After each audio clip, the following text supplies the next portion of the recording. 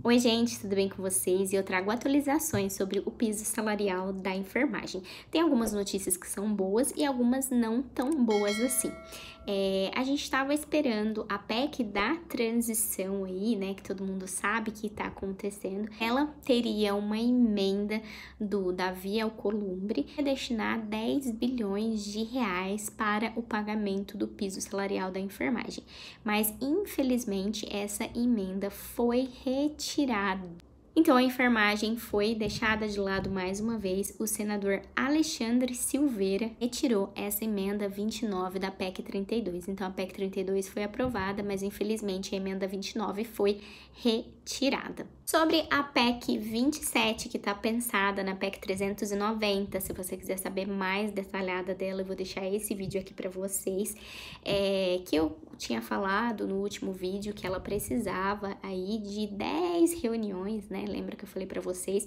E já está na sétima reunião e na terça-feira, dia 13 de dezembro, também vai ter uma reunião, uma audiência pública para eles discutirem também a importância dessa fonte de custeio. Está aí em andamento, mas nada concreto ainda. Eu acredito que, como eles entram em recesso dia 17 de dezembro, eu não sei se vai dar tempo, mas está caminhando aí.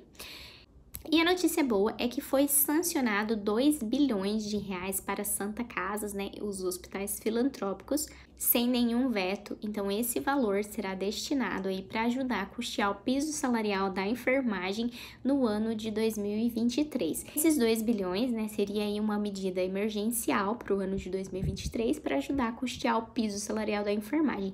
Porém, pessoal, pelo que eu li, eu não achei nada especificando que seria para o pagamento do piso salarial.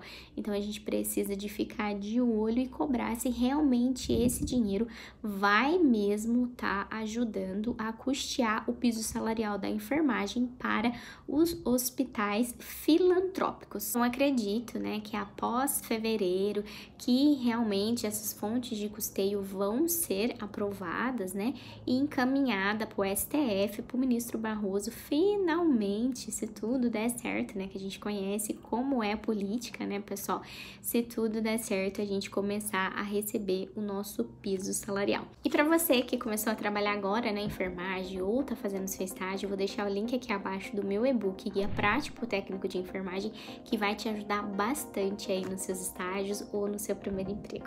Bom, eu espero que você tenha gostado desse vídeo, compartilhe com seus amigos da enfermagem que não tá sabendo como está o andamento do piso salarial e deixe seu comentário aqui abaixo.